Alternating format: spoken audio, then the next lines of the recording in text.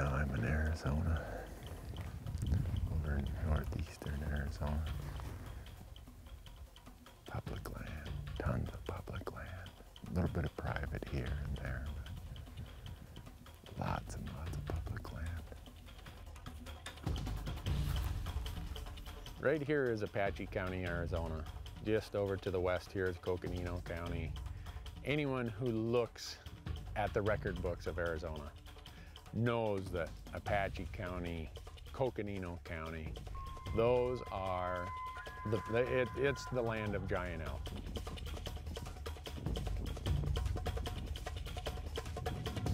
That's a big track. Fresh too. Looks like he went that way last night or this morning. Huge. At one time, a subspecies of elk lived here, and they were way larger than our Rocky Mountain elk. Some people still claim that some of those elk did, did survive the pioneer days in, here in Arizona.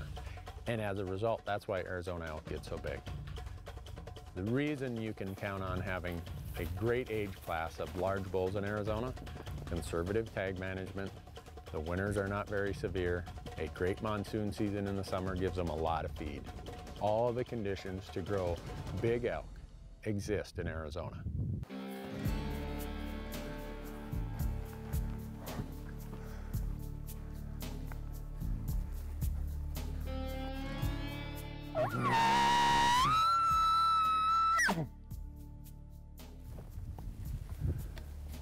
There's a bull over there that just keeps answering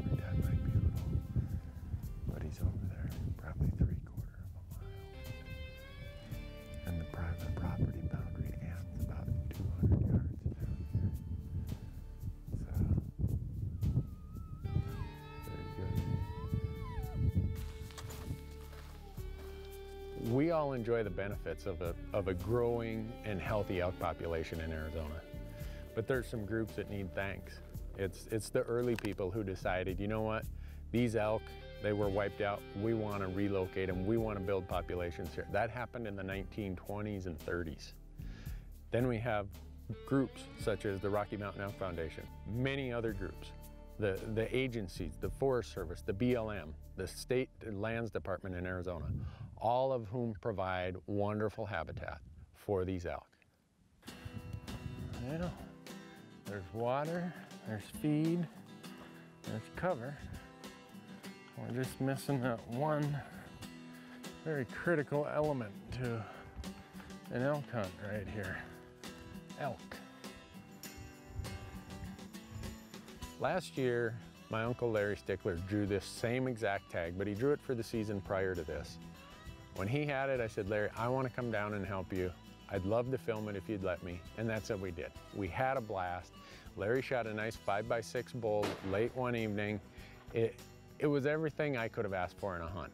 Unfortunately, even though I was here last year, because the conditions are so different, it was so dry. This was the year of fires in Arizona. It's like starting from scratch, starting all over. I did know how the land laid out. That was about the only advantage I had. This is about as classic of an elk place as you could ask for. It's hard to get up here. There's lots of feed. Just off the lip, there's great bedding cover. There's water just to the north here. Nobody's gonna come up here and mess with them. Saw a lot of tracks in here, a lot of sign, a lot of rubs. I think they're in here. I hope they're in here tonight. I climb up this mesa. I get there, I glass. I am in the most perfect glassing position in the entire unit. And I'm listening, it's dead calm. I'm waiting, I know I'm gonna hear a bugle. And I sit and I wait, and I sit and I wait, and I glass, and I glass, and I glass. And as much as I wanna say, oh, I saw all these elk, nothing. This first day of season, in effect, has really been just more scouting, and it's been very valuable. I found a morning spot I think is really good. Found an evening spot I think is really good, and they're only four miles apart from each other. So unless this just completely dies and I don't see anything at all over here, these are going to be the spots that I hit really hard.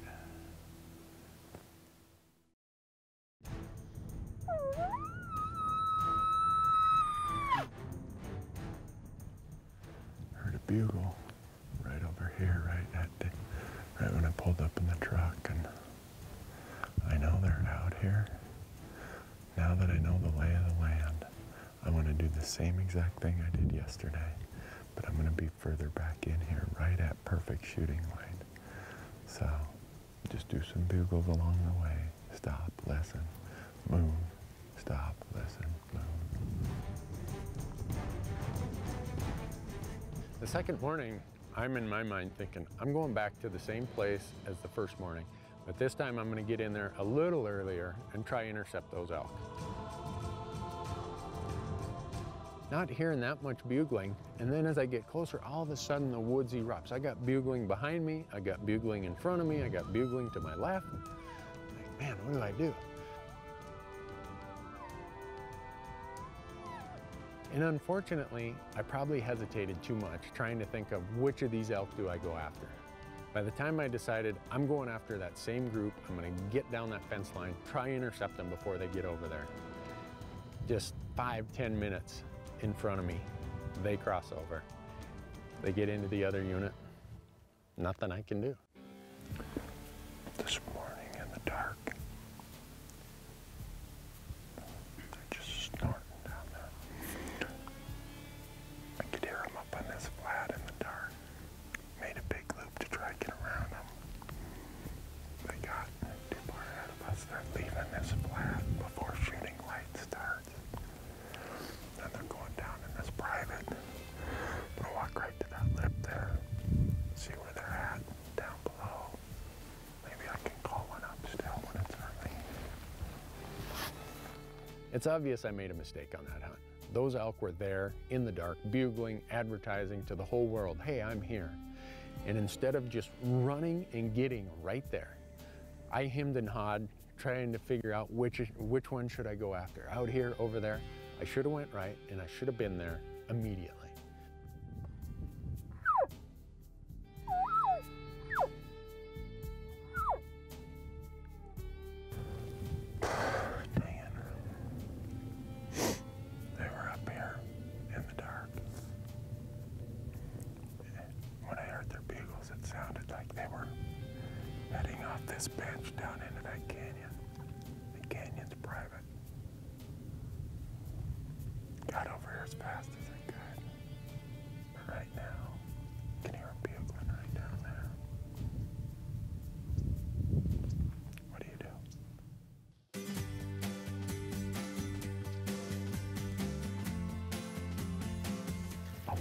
Times these animals are over in the private or over in another unit where I can't go after them. That one time when they make the mistake and they're still hanging out over here where I'm at, where I have access, where I'm allowed to hunt, that is the time I wait for. And you just got to be patient. If you can't deal with frustration, then don't, trust me, don't hunt these, these boundary areas. It is a, a high level of frustration. Old Newberg is getting fed up with this game. Someone might get hurt here.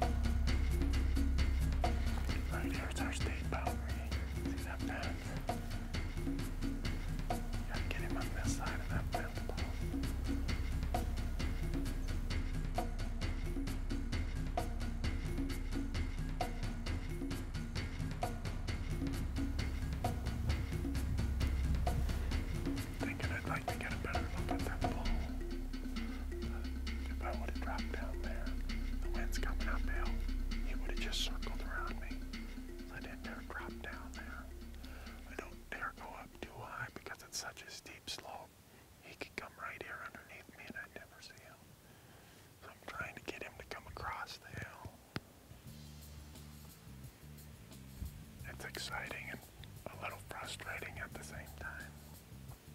I mean, he's a younger bull. He's by himself.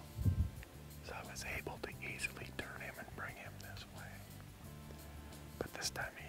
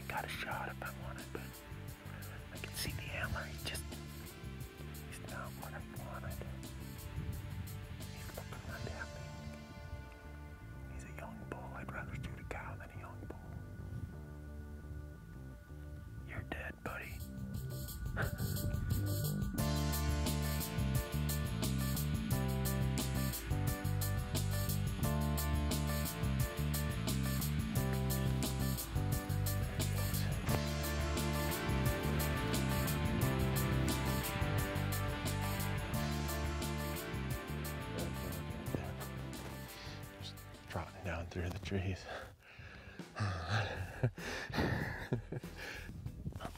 That's what I came here for. Call an elk, bringing them right on your lap like that. I don't care who you are, how many times you've hunted out. If that doesn't get you excited, just give it up. Quit. Stop. I gotta go get my pack. This is pretty much shot most of the evening hunt, just want to get right over here and just glass down in that basin because there's another big basin over here. That was cool. If you have a lone bull, you can call him from a lot further than I thought. I didn't think you could call a bull in with strictly cow calls from 590 yards, but I did.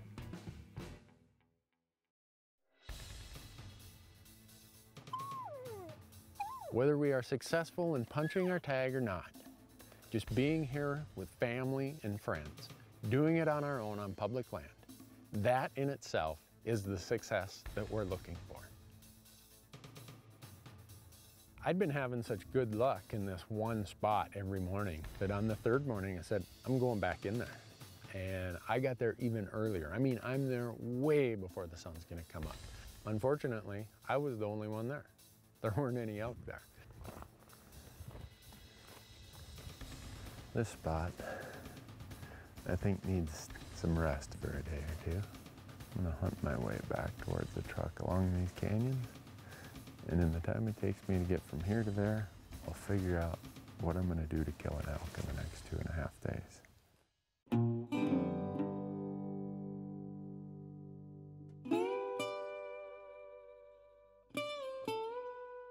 Comes the morning of day four, I'm kind of stumped. I, I know that the elk have moved out of my morning spot. I'd moved north, tried an afternoon hunt up there, and I thought, you know, it's such a great spot, even though I didn't see anything last night.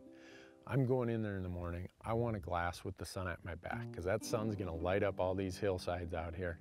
If there are elk in there, and as random and mobile as these elk are, I'm gonna see them moving through there. I sat there for four hours with my binoculars, with these spotting scopes. Same result, nothing. I would like to have shot one the first day, but I'll still gladly shoot one the last day.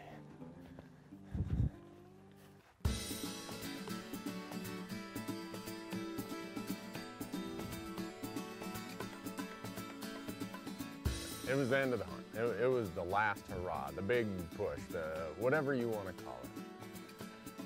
So I'm thinking strategy. What am I going to do? How am I going to pull the rabbit out of the hat this time? And I'm thinking, I'm going back to that spot that I hunted three mornings in a row and the elk would get right off the public and drop down into these canyons that are on private.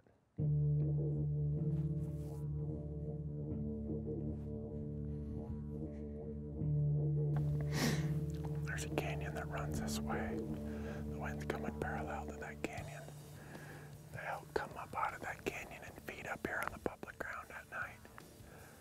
I don't know if there are any elk down there today, but for three mornings in a row, they went down there.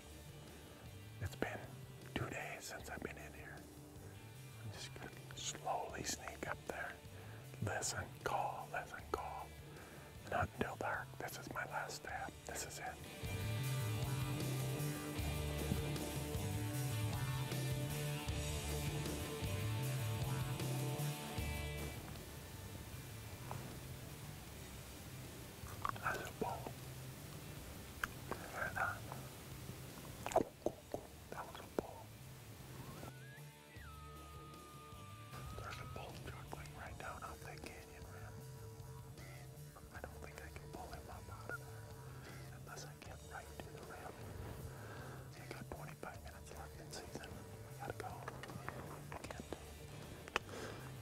Now's not the time to be passive. And on my way over there, I look, and here's this cow standing right on that little finger ridge. She's right on the boundary of public and private. They come right out here. There was already a cow over there. There's bulls down below. I don't dare get any closer because they're gonna see me. I, I need them to come up here. Down below me, really close, I just hear these two bulls all of a sudden break into bugles. Like, holy cow, they are closer than the cow. So I sneak right up to the lip and I look down, and those two bulls are following her, but they're closer to me than she is.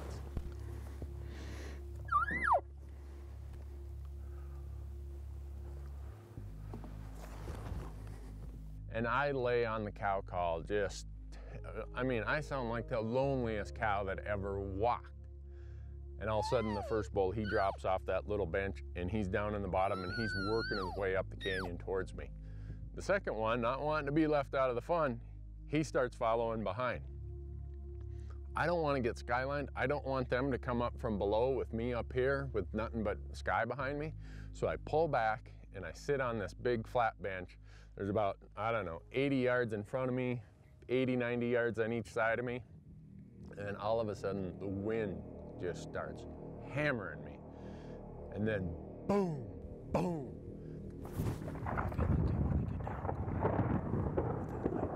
The lightning starts coming. I mean, within five seconds of me sitting down in my position, the worst thunderstorm I've been in in a long time comes rolling through there.